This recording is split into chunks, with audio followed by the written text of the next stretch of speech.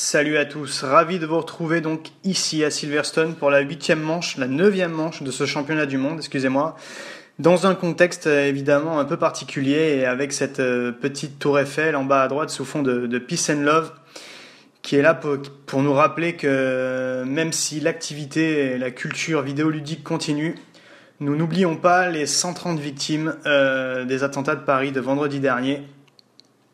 Donc on va revenir évidemment à la F1 avec donc Silverstone et euh, le joyau de la couronne, hein, bien évidemment, cette neuvième manche qui fait partie des, plus grandes de la saison, avec donc euh, pendant les, essais libres Vettel qui s'est imposé, donc moi-même, devant Nico Rosberg et Kimi Raikkonen et Hamilton, hein, toujours la même brochette euh, omniprésente, Bottas qui a fait un cinquième temps en, en pneu dur, avec un, un Grand Prix donc en 50% et en légende, en live euh, je voulais le faire en commenté à la base, et puis après j'ai changé d'avis parce que c'est vrai qu'un live à Silverstone c'est quand même quelque chose sur un sur un tracé euh, absolument magnifique et donc qui est le, le, plus vieux du championnat du monde, avec donc ces deux zones de DRS, avec la première donc dans le premier secteur et la seconde dans le dernier secteur sur un tracé qu'on connaît absolument tous par cœur et on va le vivre avec le tour de qualif de Sébastien Vettel avec donc la nouvelle pit lane des stands avec cet impressionnant donc euh, pit lane à droite. On passe à B ici à fond, virage des 100 mètres, on plonge à la corde ici, 3, 2 pour passer Arland Arena. Et c'est là où j'ai eu beaucoup de mal. Pour ressortir très proprement en deuxième, troisième, quatrième. Et on voit que la Mercedes est sortie plus fort que moi sur la première zone de DRS du tracé National Straight pour arriver donc à Brookland et au panneau des 100 mètres on rétrograde, quatrième, troisième, on tient la corde ici, on monte sur le vibreur. Très compliqué à gérer ici le field, avant d'arriver donc sur l'ancienne zone, sur l'ancienne pit lane, sur pit straight. Avant à l'époque on rentrait ici dans les stands. Et ici ça va être très compliqué à négocier. Septième, on va passer quasiment à fond ici dans Cops avant d'arriver sur le plus bel enchaînement du championnat du monde. 7ème, 8ème, 300 km/h, Magots, Beckett, et Chapelle.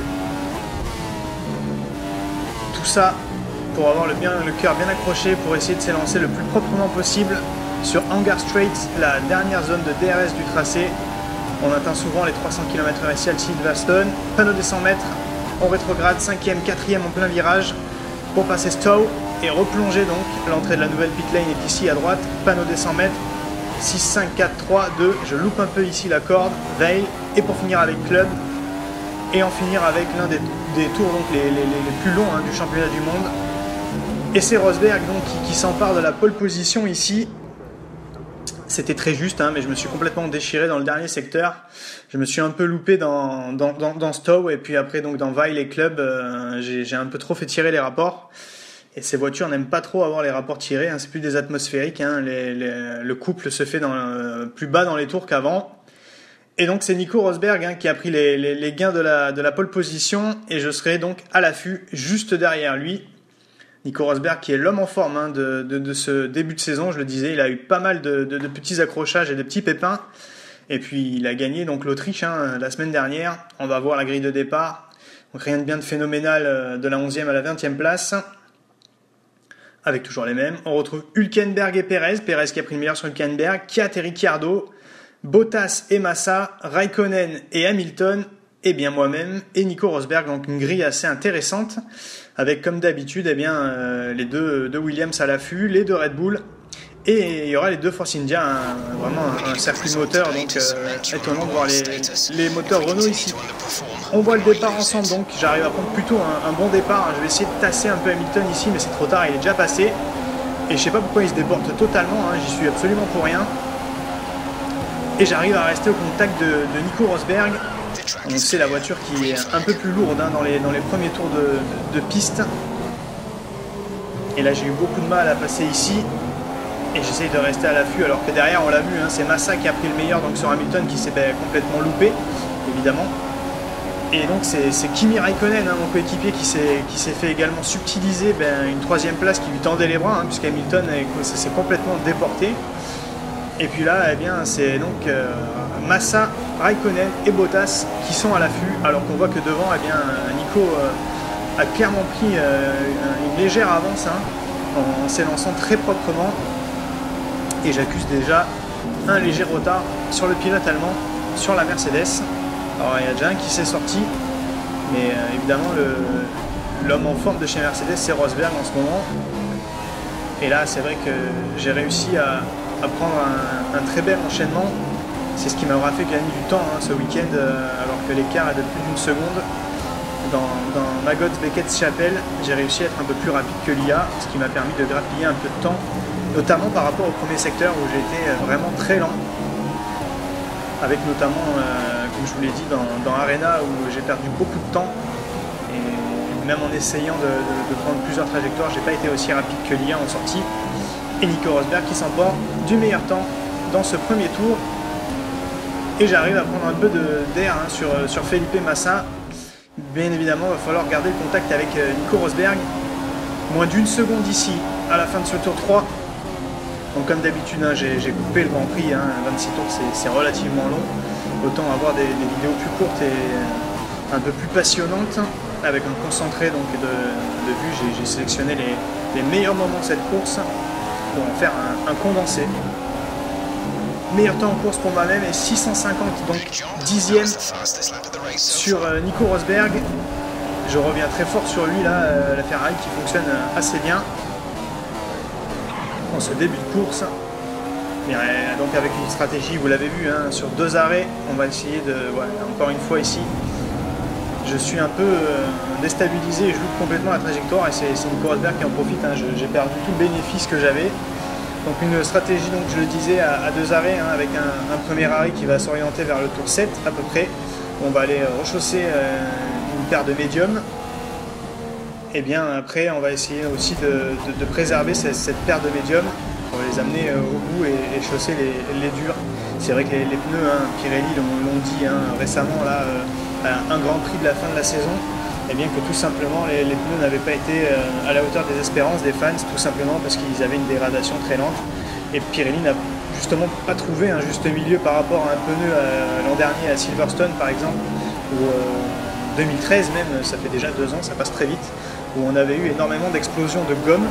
Et bien là, euh, c'est vrai que cette année, on a eu droit à, des gommes un peu trop euh, dures, ce qui a donc gâché un peu le spectacle. On aurait aimé voir trois arrêts ici à Silverstone avec pourquoi pas le médium justement, et puis le soft. Hein. Euh, peut-être pas le super tendre. Alors on sait que Pirelli bosse sur un hyper tendre maintenant pour avoir un peu plus de spectacle, notamment sur un, GP comme Monaco où la gomme ne s'use pas et avoir des voitures un peu plus rapides. Alors que Nico Rosberg a plongé dans les, stands, hein, on a essayé de retarder la stratégie, hein, et puis c'est bien propre au leader. Donc euh, Nico Rosberg, euh, Mercedes a décidé d'arrêter Nico Rosberg à ce tour 8. La fenêtre des, arrêts au stand se fera entre le 7, 8 et le 9, hein, ça dépendra eh de la dégradation des gommes. Les miennes avaient encore de la performance et on va voir vraiment ce que ça a donné. Car nous rentrons dans la voie des stands à partir du 9 tour, donc un tour après Nico Rosberg. Et on va voir exactement ce que ça a donné. J'ai fait un tour plus ou moins propre. On va pas dire qu'il était parfait, mais j'ai commencé à sentir une dégradation. Et je pense qu'un tour plus tard, en sortant de cette fenêtre, ça aurait été un peu trop juste. Et on va justement voir euh, l'écart entre Nico et moi, alors que le point gris en bas à gauche est sûrement le pilote allemand sur la Mercedes. Et vu que je pars euh, à peine de la voie des stands, eh bien j'aurais perdu énormément de temps sur lui. Euh, il y avait à peu près une seconde 3, une seconde 4 bien là, il y en a beaucoup plus. J'ai perdu sur Nico Rosberg, donc à s'être arrêté un tour plus tard, j'ai eu une dégradation un peu plus supérieure. J'ai fait, c'est vrai, un début de course un peu cochon avec, un, avec une grosse attaque pour revenir sur Nico Rosberg, ça n'a pas payé. Et puis donc, je suis allé à l'économie hein, dans cette, euh, dans cette fin de, premier relais. Et on va attaquer le, deuxième relais exactement pareil, avec une économie également essayer d'amener les gommes le plus loin possible, car on sait, la stratégie est clairement de finir euh, et de doubler Nico Rosberg dans le dernier, euh, vraiment, vraiment le, dernier relais, car on sait que les Mercedes ne sont pas très à l'aise avec les, pneus durs. C'est du moins ce que l'on en pense. On va voir ce que ça va donner. On n'a aucune idée, aucune situation de course, car on a chaussé les, on a fait quelques tours avec les gommes dures pendant les essais libres, mais c'est surtout les, médiums hein, qui nous ont intéressés car on va faire euh, quasiment euh, deux tiers de la course avec. Et donc, ben, du coup un dernier relais qui s'annonce un peu tendu avec des, gommes dures. Donc euh, la, Mercedes, on verra comment va se comporter leur, leur voiture qui fonctionne relativement très bien. Mais la Ferrari a, tendance à être un peu joueuse hein, avec ce, style de gomme. je l'ai ressenti énormément au, Canada, avec une voiture qui, n'était plus du tout la même euh, eh bien, dans, le, relais des durs, alors que là, eh bien, euh, Fernando Alonso fait mes affaires. Clairement, j'arrive à, revenir très fort sur Nico Rosberg qui a buté sur le pilote espagnol dans Magos, Beckett et Chapelle. Et moi, j'arrive au, meilleur moment avec le, DRS ouvert à l'aspiration derrière Nico Rosberg. Je sors un peu large ici dans Stowe. Et on va essayer de replonger. Et ici, au panneau de 100 mètres, je ferai un tout petit peu fort, je décale un tout petit peu vers l'extérieur. Et Nico Rosberg qui me laisse la porte ouverte, heureusement. Je suis sorti ouais, un tout petit peu large. Et euh, eh bien, sans accrochage, je reprends la pole position, alors que je ne l'ai jamais eu. Donc j'arrive à, prendre la première place. Et là, les gommes qui sont complètement à l'agonie, je vais plonger dans la voie descente pour effectuer le dernier arrêt et le dernier relais donc avec les gommes dures, donc le, mystère. Hein. Alors vous le voyez, la, la, pit lane ici à Silverstone est relativement très très longue. Il y a un temps de perdu absolument énorme. Je ne me dis pas si là le drive-thru coûte très très cher ici. 60 miles par heure. Et le dernier arrêt donc, Nico Rosberg s'arrête en même temps que moi, il repart en même temps que moi. Et là ça va être très intéressant de voir comment ça va se passer. Alors que Bottas et Raikkonen s'arrêteront au, prochain tour. Bottas et Raikkonen, c'est vraiment le, feuilleton de début de saison. début de saison, une saison qui, va arriver bientôt à, sa moitié la semaine prochaine, euh, dans deux semaines, en Hongrie, avec le GP commenté au, au Mojo Road à Budapest. Et on va voir comment vont se comporter ces, pneus euh, à flanc orange, donc les, pneus les, plus durs pour le sec proposés par, Pirelli. Et on va voir ce que la Ferrari va donner ce 18ème tour. Et Rosberg qui lâche rien derrière, hein, il est toujours euh, présent, le pilote allemand. On se suit, hein, on est à peu près dans le même rythme et il aurait vraiment été intéressant de voir ce que, ce que Lewis Hamilton aurait fait. L'écart est de 1 seconde 3 et il n'aura pas donc l'accès au DRS. Hein. Là, tout, vraiment de, le rester éloigné à plus d'une seconde avec lui pour essayer de, lui éviter d'avoir eh bien, ce, fameux DRS parce qu'avec le moteur Mercedes, ce sera absolument terrible. Et on ne veut absolument pas qu'il nous repasse devant le pilote allemand. Une seconde 7 au 20e des 26 tours. Et ce dernier relais qui se passe pour l'instant bien, même si la voiture est, est quand même assez différente. Euh, de celle qu'on avait avec les, pneus médiums. Il va falloir s'y faire. Et on espère, hein, bien entendu, je le répète, l'année prochaine, des gommes un peu plus tendres ici, peut-être descendre juste d'un niveau avec la gomme médium en plus dure et la gomme soft. Pourquoi pas même la, super soft, mais c'est vrai qu'elle elle effectuerait très peu de tours ici, et avec un, GP à, trois 3 arrêts alors que Massa a réussi à, préserver hein, la, troisième place depuis euh, le long du Grand Prix. Et on voit pas trop Raikkonen. On voit si, ça y est, ils sont très loin derrière. Hein. C'est vrai que le, rythme imposé, encore une fois, par, euh, par Mercedes et Ferrari est assez impressionnant. Alors que là, eh Nico Rosberg commence un tout petit peu à reculer. Il restera donc 5 tours à l'issue de ce Grand Prix. Et là, on tient pour l'instant bien la corde, hein. c'est absolument parfait. Avec un rythme de course assez soutenu quand même, hein, euh, des Mercedes. Et puis finalement, la, pole qui nous a échappé à cause d'une erreur, hein, c'était largement envisageable. Et là, on, pose l'écart à plus de 2 secondes avec Nico Rosberg et Mercedes. Tout est bon pour nous. On loupe un peu la corde ici.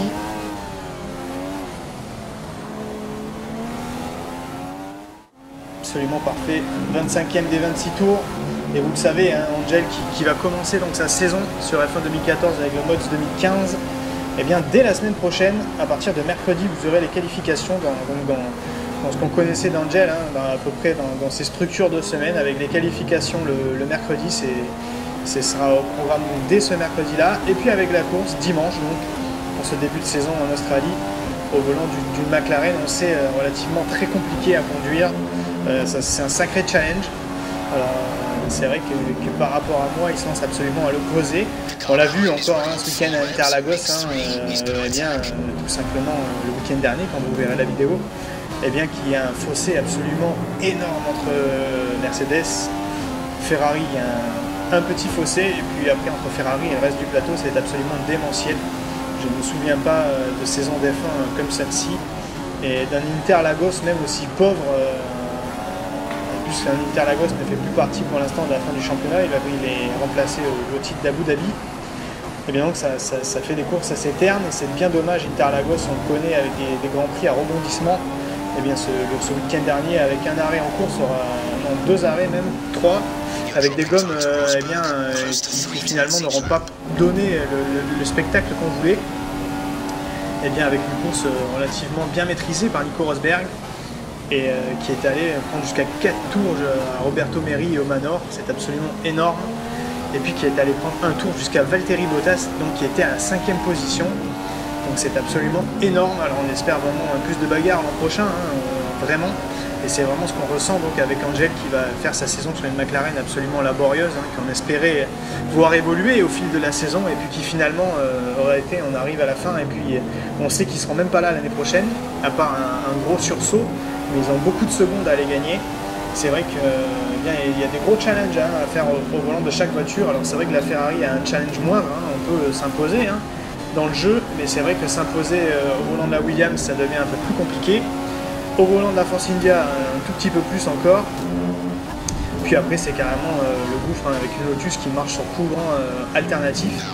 Euh, Romain est un pilote qui se bat énormément et qui arrive à vraiment tirer la quintessence de cette voiture, mais qui, est loin d'être au niveau. Hein. Finalement, c'est vrai que les problèmes financiers sont là aussi, mais elle sort vraiment la tête de l'eau grâce au moteur Mercedes et ils ont bien fait, car c'est vrai qu'avec un moteur Renault cette année, ça aurait été relativement très compliqué. Donc, eh bien, on va voir ce que ça va donner tout ça l'an prochain. Et eh bien voilà la course qui va se terminer ici à Silverstone avec une victoire de Sébastien Vettel et de Ferrari encore une fois. Grosse nomination de la, de la hein, sur ses 9 premiers Grands Prix jusqu'à donc cette mi-saison dans deux semaines à, au Mojo Road avec donc Sébastien Vettel qui s'impose, Nico Rosberg deuxième, Kimi qui récupère une troisième place dans le dernier tour, je pense, l'écart qui est très faible avec Felipe Massa. Bottas 5e, Daniel 4 6e, qui a pris le meilleur sur euh, Daniel et Ricciardo, a priori, pour une fois. Hülkenberg 7e, euh, Perez 8e, Verstappen, hein, encore une fois dans le top 10. Lewis Hamilton 10e, grosse déception. Nasser Maldonado, Button, Sainz, Ericsson, Ricciardo très loin, Alonso, Stevens, Mary et Grosjean, donc qui est euh, bien qui a tout simplement abandonné. Donc encore deux Ferrari sur le podium, c'est énorme. Et Vettel qui est presque au double break hein, sur Kimi Raikkonen. Et le top 5 qui n'a absolument pas bougé. Statu quo donc ici en tête. Euh, Ricardo, on remarquera qu'il perd sa sixième place au profit de Felipe Massa. Et la chute de Jenson Button du top 10 au profit de Nico Hülkenberg au championnat du monde. Ferrari toujours en tête, 116 points d'avance sur Mercedes, Williams, Infinity Red Bull, et puis derrière c'est la grosse baston. Tout le monde est à peu près dans moins de 10 points d'écart pour la cinquième place. Euh, donc euh, eh bien cette cinquième place promet euh, ben, pour les, prochains Grands Prix, tout le monde est à l'affût. Donc voilà, eh bien on va se quitter et on va donc se retrouver pour nous dans deux semaines au, Mojo Road. La semaine prochaine, c'est McLaren avec eh bien Angel.